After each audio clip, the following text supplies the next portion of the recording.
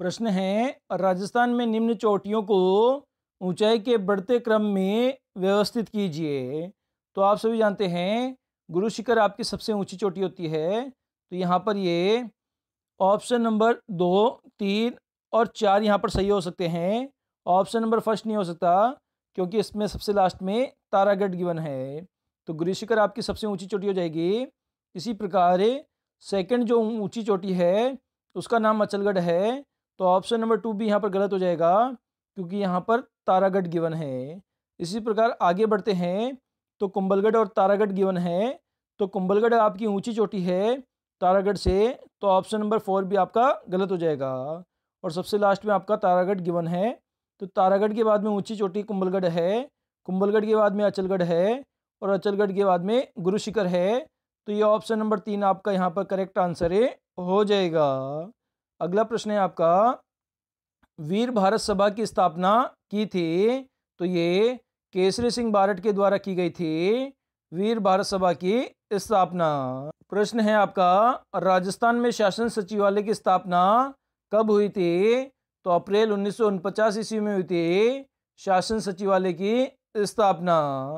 अगला प्रश्न है आपका, राजस्थान में अंतिम राष्ट्रपति शासन ने की अवधि क्या थी तो ये पंद्रह दिसंबर उन्नीस से तीन दिसंबर उन्नीस सौ तिरानवे तक लगा था। अंतिम राष्ट्रपति शासन राजस्थान राज्य में और अब तक राजस्थान में चार बार राष्ट्रपति शासन लगाया जा चुका है। अगला प्रश्न है आपका, किस वर्ष राजस्थान राज्य महिला आयोग की स्थापना हुई थी? तो सन उन्नीस सौ निन्यानवे ईस्वी के अंदर हुई थी। राजस्थान राज्य महिला आयोग की स्थापना। अगला प्रश्न है आपका, निम्नलिखित में से राजस्थान किस क्षेत्रीय परिषद में शामिल है? तो ये उत्तरी क्षेत्रीय परिषद में शामिल है, राजस्थान राज्य। अगला प्रश्न है आपका, किस लोक नृत्य में डफली, घुरालियो, खंजरी और पुंगी वाद्य यंत्रों का प्रयोग किया जाता है? तो ये सभी कालबेलिया नृत्य में प्रयोग किए जाते हैं, डफली घुरलिया खंजरी और पूँगी वाद्य यंत्र अगला प्रश्न है आपका, पलाण क्या है? तो पलाण जो है, ऊँट जो है, पर रखी जाने वाली काटी है, उसका नाम क्या है? पलाण उसका नाम है। अगला प्रश्न है आपका, किस गढ़ के लिए कर्नल जेम्स टोड ने कहा था कि यदि उन्हें राजस्थान में एक जागीर की पेशकश की जाए तो वह गढ़ किसे चुनेंगे? तो वह भैंसौरगढ़ को चुनेंगे। अगर कर्नल जेम्स टोड को एक जागीरी दी जाए तो। अगला प्रश्न है, अंग्रेज़ों को मुल्क रा मीठा ठगे किसने कहा था? तो ये शंकरदान सामोर ने कहा था, अंग्रेज़ों को मुल्क का मीठा ठगे। अगला प्रश्न है आपका राजस्थान में किस नरसंहार को गांधी जी ने दोहरी डायर शाही की संज्ञा दी थी? तो ये किसानों का जो हत्याकांड है नींबूचाणा हत्याकांड है तो इसको गांधी जी ने दोहरी डायर शाही की संज्ञा दी थी। अगला प्रश्न है आपका, निम्न में से कौन सा आभूषण महिलाओं द्वारा नहीं पहना जाता है? तो मोरखा आभूषण है जो कि महिलाओं के द्वारा नहीं पहना जाता है। इसके अलावा रखड़ी मेमंदे कंडोरा, ये तीनों ही आभूषण महिलाओं के द्वारा पहने जाते हैं। अगला प्रश्न है आपका, निमाड़ी एवं रागड़ी किस बोली की उप बोलियाँ हैं? तो ये दोनों ही मालवी की उप बोली है, निमाड़ी और रागड़ी। अगला प्रश्न है आपका, पोपाबाई की पोल नामक पुस्तक किसने लिखी है? तो ये जय नारायण व्यास के द्वारा लिखी गई पुस्तक है, पोपाबाई की पोल। अगला प्रश्न है आपका, अठारह सौ सत्तावन के विद्रोह का कोटा में नेतृत्व किसने किया था?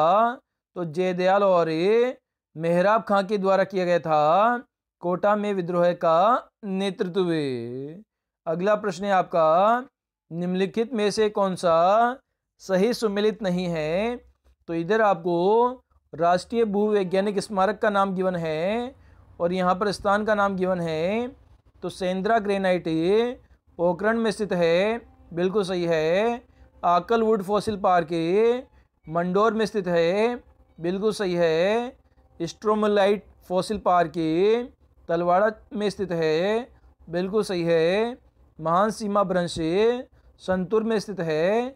यह ऑप्शन आपका गलत है। अगला प्रश्न है आपका, मूसी महारानी की छतरी कहाँ स्थित है? तो ये आपका अलवर ज़िले में स्थित है। मूसी महारानी की छतरी और ये कितने खंभों की छतरी है? ये आपके अस्सी खंभों की छतरी है। अगला प्रश्न है आपका, किस रम्मत कलाकार ने महात्मा गांधी को स्वतंत्र बावनी पुस्तक भेंट की थी। तो ये तेज कवि ने भेंट की थी, स्वतंत्र बावनी की रचना की थी तेज कवि के द्वारा और सबसे पहले महात्मा गांधी को इसे भेंट किया था और तेज कवि जैसलमेर के रहने वाले थे। अगला प्रश्न है आपका, तेरे ताली नृत्य किस लोक देवता का यशोगान किया जाता है? तो इसमें रामदेव जी लोक देवता का यशोगान किया जाता है तेरे ताली नृत्य में, जिसमें तेरह मंजीरों का प्रयोग किया जाता है, जिसमें नौ मंजीरे दाएँ पैर पर बांधे जाते हैं, दो मंजीरे दोनों हाथों की कलाइयों में बांधे जाते हैं और दो मंजीरे हाथों में लेकर कामड़ जाति की महिलाओं के द्वारा तेहरे ताली नृत्य किया जाता है। अगला प्रश्न है आपका, कौन सा सुमिलित नहीं है। तो इधर आपको आभूषण गिवन है और इधर अंग का नाम गिवन है। तो मुंदड़ी आपकी अंगुली में पहनी जाती है। बिल्कुल सही है। टड्डा आभूषण बाजू में पहना जाता है। बिल्कुल सही है। नेवरी आभूषण पैर में पहना जाता है। बिल्कुल सही है। रमजोल आभूषण कमर में पहना जाता है। यह ऑप्शन आपका गलत है।